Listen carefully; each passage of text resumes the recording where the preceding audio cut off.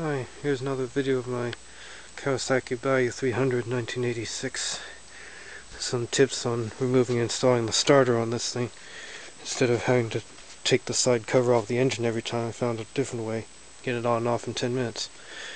One point is the brake, the, here's the motor here, all overhauled. I noticed there's two kinds of these breaker plates. The slot here, this is the old plate. The new one, the slot is oriented the other way because this way the slot stops the wire on the brush and it can't go towards the commutator as far as the new one. The slot is reversed. You put the brush in the other end and it go right out. Plus this hole here, this one's bigger than the new one, so that lets the brush get closer to the commutator.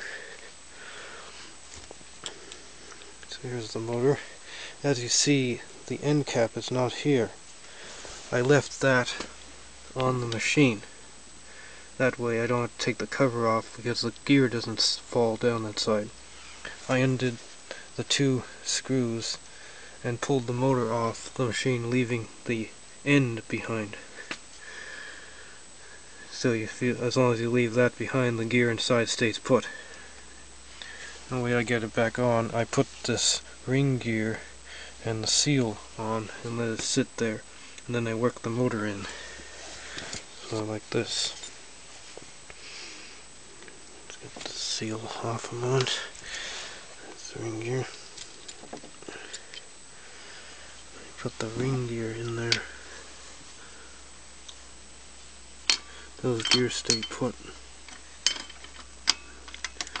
Get the gear in there. Key it into that little peg on the bottom and it stays put.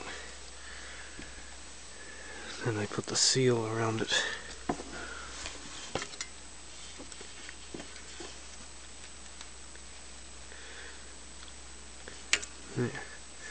Already.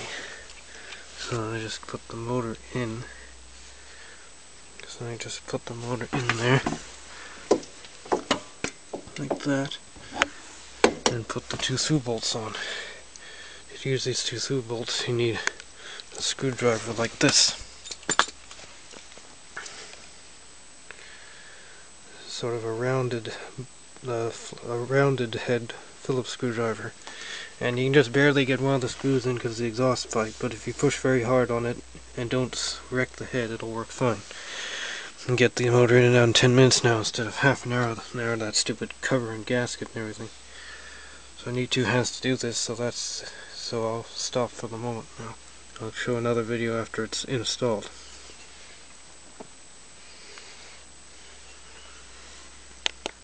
Okay, so there it is all installed you can see the two two bolts I had to undo to get the motor out aside from the mounting bolts on the end cap.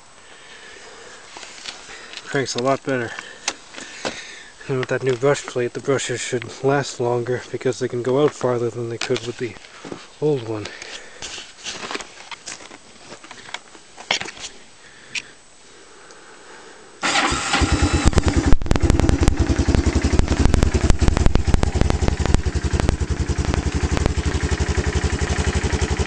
Thanks for watching.